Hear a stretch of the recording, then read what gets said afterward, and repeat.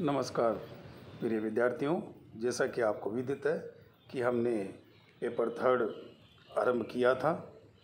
उसमें हमने modular growth पर डिस्कस किया था।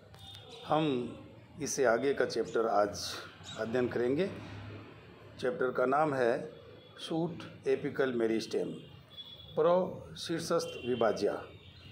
जैसा कि हम जानते हैं कि एक बीज जब बीजांकुरण करता है तो पलिम्यूल और रेडिकल से मूलांकुर और परांकुर से प्रोतंत्र और मूल तंत्र का निर्माण होता है।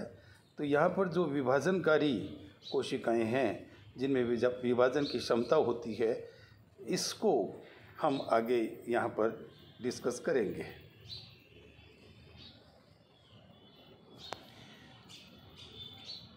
शूट एपिकल मेरिस्टेम को अध्ययन प्रारंभ करने से पूर्व हमें general introduction of plant anatomy पर विचार करना चाहिए। प्लांट एनाटॉमी एक ग्रीक शब्द है, जो दो शब्दों से मिलकर के बना है। एना का तात्पर्य अप और टेमनिन का तात्पर्य टू कट। यानी हम पादप की आंतरिक संरचना का अध्ययन करें तो हम उसे आंतरिक आकारिकी या पादप शारीरिकी नाम देते हैं। इसमें हम आंतरिक संरचनाओं का अध्ययन करते हैं तथा इसी की एक और सिनोनिम शाखा है हिस्टोलॉजी, औतिकी या उत्तक विज्ञान। लेकिन यहाँ पर उत्तक विज्ञान में हम मात्र उत्तकों के प्रकार और उत्तकों की जो व्यवस्था है अरेंजमेंट है, उसके ऊपर ही हम अपना ध्यान केंद्रित करते हैं। चूँकि प्लांट एनाटॉमी का सीधा सीधा तात्पर्य यहाँ पर है कि पादप की आकारिकी का अध्ययन करना तो यहाँ पर बाह्य आकार की एक्सटर्नल मार्फोलॉजी के रूप में हम अध्ययन के साथ साथ आंतरिक संरचनाओं का अध्ययन करते हैं, इसलिए यहाँ पर हम इसे प्लांट एनाटॉमी कहना उचित समझते हैं। कोशिका और उत्तक के बारे में हम पूर्व में अध्ययन कर चुके हैं। कोशिका पादप शरीर की एक संरचनात्मक और कार्यात्मक इकाई होती है। लेकिन मॉड्यूलर ग्रोथ की कंसेप्ट को जब हम काम में लेते हैं, तब यहाँ पर ये एक उसका हिस्सा होती है।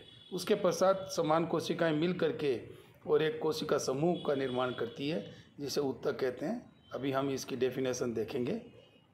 यहाँ पर हम देखें कि एंजियोस्पर्म और जिन्मोस्पर्म जो कि दो पीढ़ी युक्त होता है स्पोरोफिटिक प्लांट्स और गेमिटोफिटिक प्लांट्स स्पोरोफिटिक प्लांट्स जो है, वो डिप्लॉइड होता है गेमिटोफिटिक एप्लॉइड होता है। लेकिन यहाँ ये देखना ज़्यादा उचित है कि दूसरे अन्य जो ग्रुप हैं, जैसे तेलोफाइटा ब्रेफाइटा टेडोफाइटा आदि की जो संरचनात्मक व्यवस्था है, वह सरल होती है और एंजियोस्पर्म और जिन्मोस्पर्म की संरचना जटिल होती है।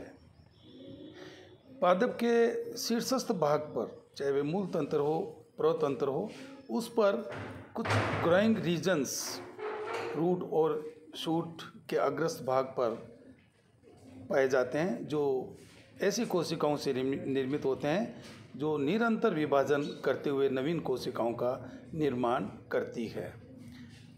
टिश्यू मिलकर के टिश्यू सिस्टम्स का ऊतक तंत्र का निर्माण करते हैं। यहाँ हम ये जान लेते हैं कि टिश्यू शब्द या उत्तक क्या है और इसकी क्या सर्वसम्मत परिभाषा होती है। उत्तक शब्द का गठन ग्रीव ने किया था। उसके अनुसार the cells those are similar in shape, size, function, origin and development. पाँच विशेष प्रकार की जो लक्षण होते हैं कोशिका के, उनमें यदि सभी कोशिकाएँ समान हो तो उसको हम उत्तक कहते हैं।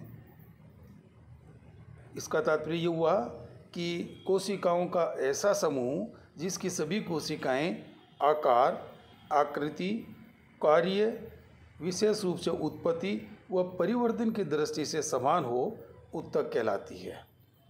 तो यहाँ पर कोशिकाएँ जो साइज़ शेप में समान हो, अपना जो है वो परिवर्धन और उसका उत्पत्ति जो है वो समान रूप से हो और समान कार्य के लिए वो प्रयुक्त होती हों, उस समूह ऑफ़ कोशिकाओं के समूह को हम उत्तक कहते हैं। पादप में विशेष प्रकार के उत्तकों का सहयोग पादप निर्माण में पाया जाता है। यदि हम उत्तक को प्रकार के रूप में देखें तो पादप में दो प्रकार के उत्तक पाए जाते हैं विभाजोत के उत्तक और स्थायी उत्तक। विभाजोत के उत्तक का सीधा सीधा तात्पर्य निकलता है विभाजोत का तात्पर्य होता है विभाजनशील, या जिसमें विभाजन की क्षमता हो।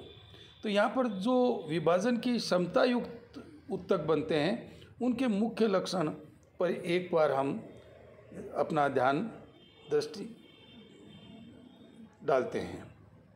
विभाजन वाले उत्तक अर्थात विभाज, कोशिकाओं में सतत विभाजन युक्त ये कोशिकाएँ होती हैं जो उत्तक का निर्माण करती हैं। इनमें पुनरावर्ती, लगातार समसूत्री विभाजन होता रहता है।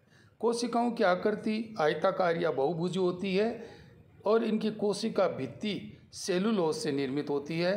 द्वितीय कोशिका भित्ति का यहाँ अभाव होता है। हम समझ सकते हैं कि विभाजनशील कोशिकाएँ हैं, इसलिए द्वितीय भित्ति का अगर यहाँ पर पाया जाने का कंसेप्ट होता तो ये विभाजन जो है वो सतत नहीं होता, विभाजन तीव्र गति से नहीं होता।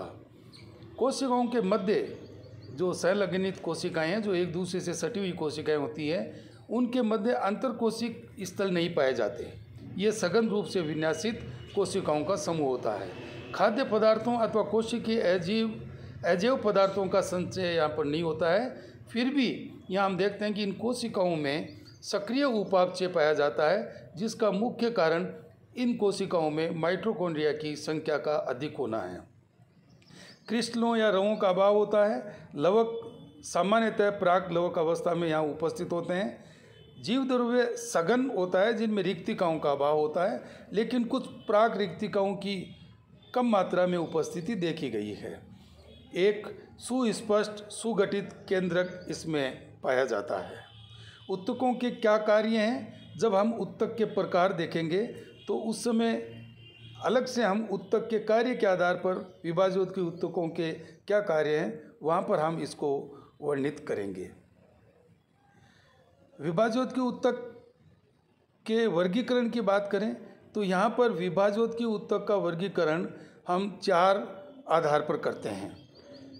Based on origin and development यानी उत्पत्ति और परिवर्तन के आधार पर based on plan of division विभाजन के तल के आधार पर based on position in plant body पादप शरीर में स्थिति के आधार पर बेस्ड ऑन फ़ंक्शन जिसका कि अभी ज़िक्र किया था, कार्य के आधार पर।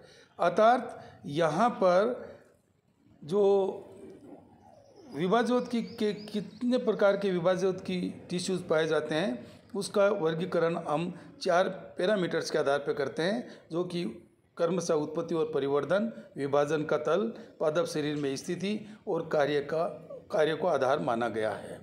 हम आगे के लेसन में इसी से अपनी बात आरंभ करेंगे कि उत्तकों की जो वर्गीकरण है, उसको हम आगे जारी रखेंगे। धन्यवाद।